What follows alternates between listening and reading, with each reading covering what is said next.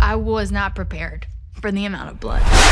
There's an electricity around shooting things practically, blood cannons, things like that.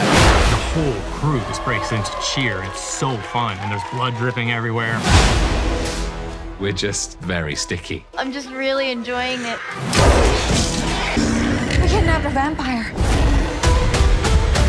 Selfishly is about having a fun experience that just happens to also look better and feel better. Really, really gross. when we're pulling those levers in the right way and you, you do have people scared, the contagious nature of that, that is definitely what this movie was designed for. What the